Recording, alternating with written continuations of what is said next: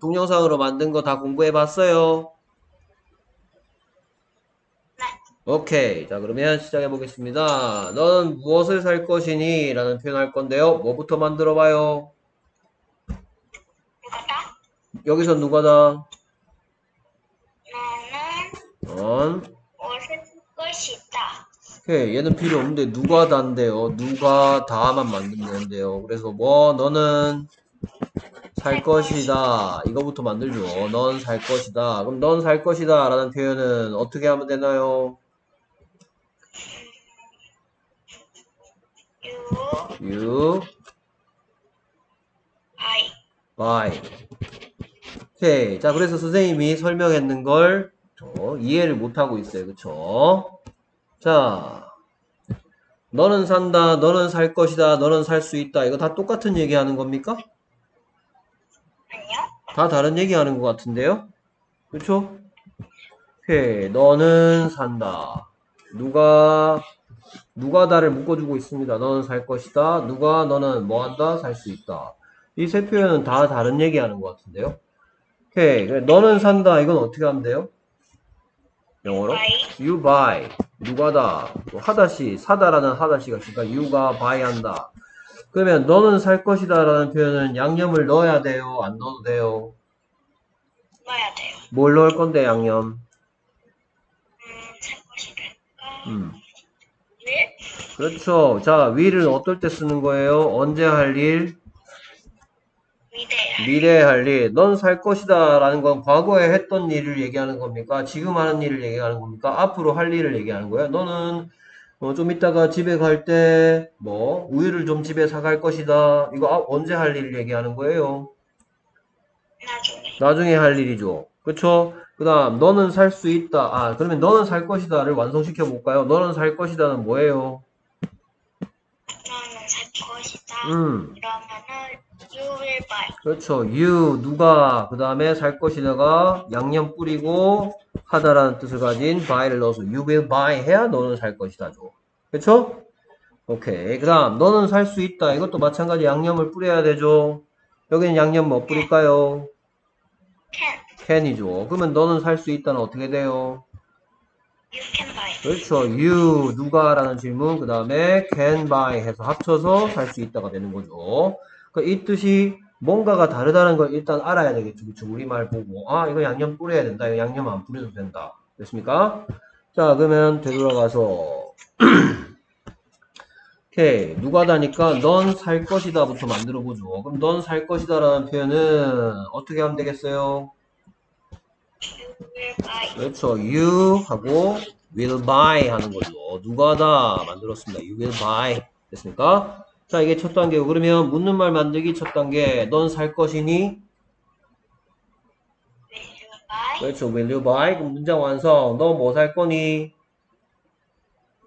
What will you buy? 그렇죠. what will you buy 하는 거죠. What will you buy? what will you buy? 그랬더니 나 우유 좀 살 거야. I will buy some milk. 그렇죠. I will buy some milk. I will buy some milk. 오케이. 그래서 some milk는 무슨 뜻이니까? 약간의, 조금의 우유란 뜻이니까 어떤 질문에 대한 대답이에요?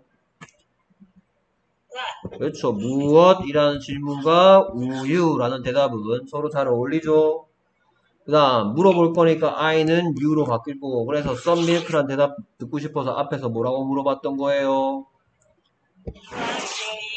그렇죠. You will buy가 will you 하니까 묻는 말 됐죠. 얘는 what에 대한 대답이니까 What will you buy? I will buy some milk. 이렇게 묻고 대답하는 말이 되고 있네요. 오케이. 다음 표현. 그녀는 그 가게를 언제 닫을 것이니? 뭐부터 만들어 봐요? 누가다.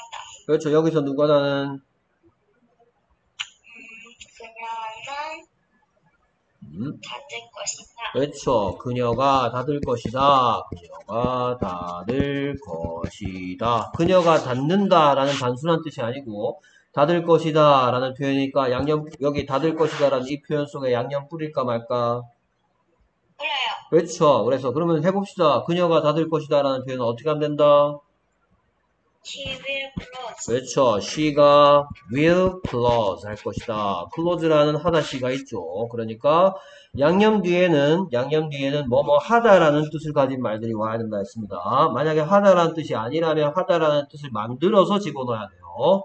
어쨌든 she will close 첫 단계 첫 단추 잘 끼웠네요. 그러면 묻기 첫 단계 그녀는 닫을 것이니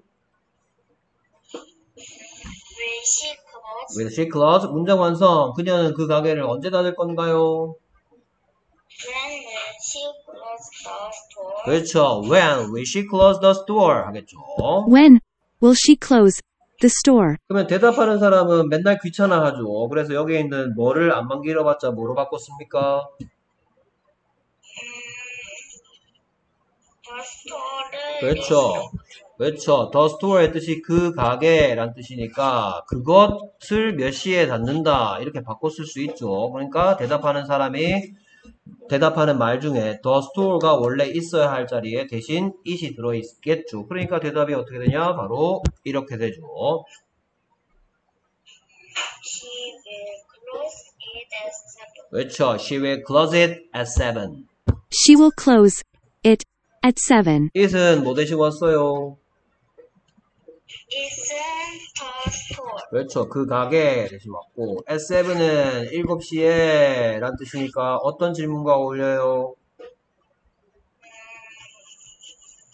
그렇죠. 언제? 라는 질문과 어울리죠. 그래서 S7이란 대답 듣고 싶어서 앞에서 뭐라고 물어봐요? 그렇죠. She will close를 will she close 하면 물음표 붙일 자격이 되는 거죠. When will she close the store? She will close it at 7. 됐습니까? 오케이. 다음 표현 보겠습니다. 오늘 하늘이 언제 어두워질까요? 라고 오늘 몇 시쯤 깜깜해질지 물어보는 표현입니다. 자, 뭐부터 만들어 봐요? 맞아. 여기서 누가 나는 어, 오늘. 오케이. 자, 그렇죠. 내가 그럴 줄 알았어. 그럴 줄 알았기 때문에 내가 문장을. 자, 오늘은 누가라는 질문에 대한 대답이 아닙니다. 이건 언제라는 질문에 대한 대답이지. 어? 오늘이 어두워질 것이다야, 하늘이 어두워질 것이다야.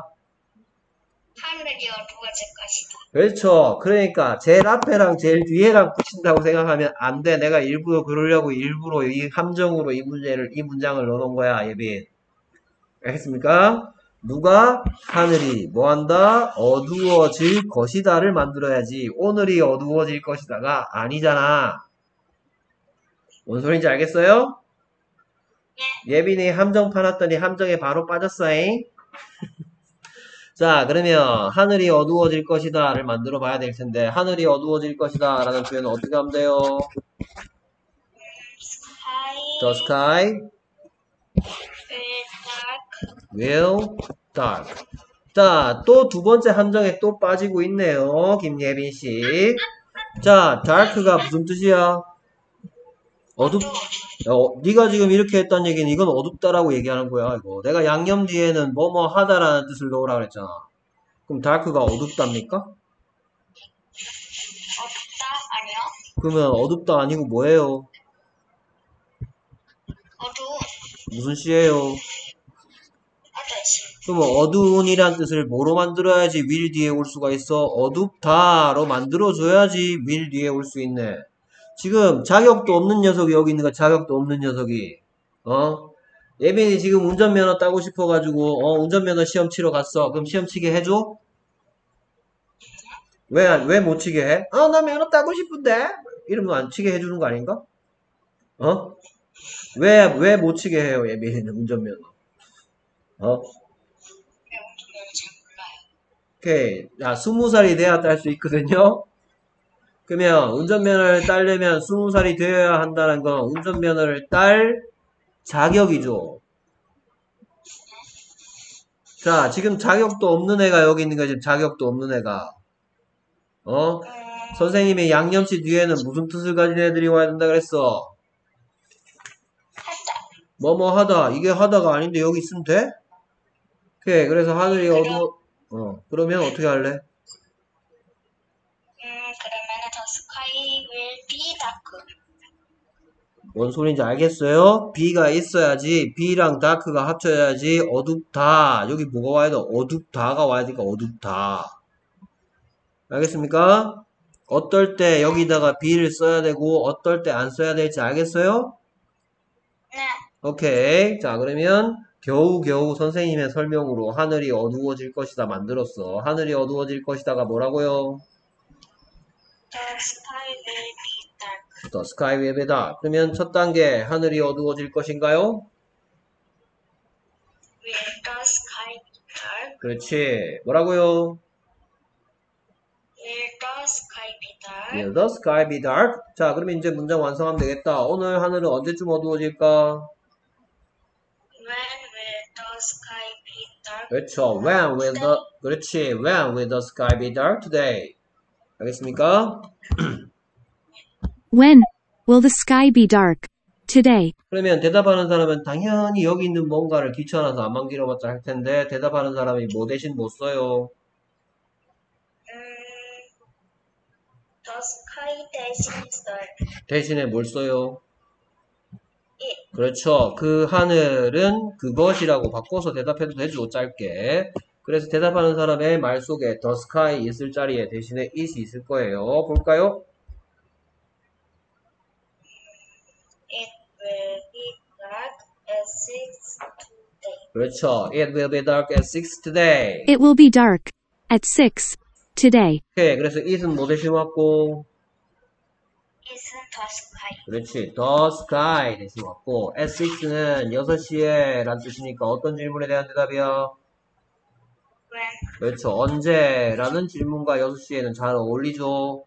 그래서 앞에서 at 6라는 대답 듣고 싶어서 뭐라고 물어봤어요? when will the sky be dark today? 그렇죠. will이 it 앞으로 와서 when will it be dark today? It will be dark at 6 today. 이런 식으로 자 여기 보면 이게 이렇게가 하다시야 어두워질 것이다. 근데 얘 왜 있어야 돼? dark를 어두운을 어둡다 만들어야지 양념을 뿌릴 자격이 되는 겁니다. 알겠습니까? 자 그래서 지금까지 했던 것보다 더 어려워요? 더 쉬워요? 어렵습니까? 네. 양념씨, 뭐, 그렇게 쉽지는 않습니다.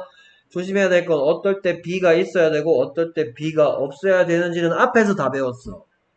하다시냐, 아니냐. 양념씨 뒤에는 뭐가 와야 돼? 하다라는 의미가 와야 된다는 걸 명심하세요. 알겠습니까? 오케이. 수고했고요. 그 다음에 다음 주는 화목이죠. 오케이, 나머지 문장들도 선생님이 설명했던 것들 잘 생각하면서 묻고 답하는 것들 계속 익혀봅니다. 네, 안녕히 계세요. 안녕. 아, 수고했어.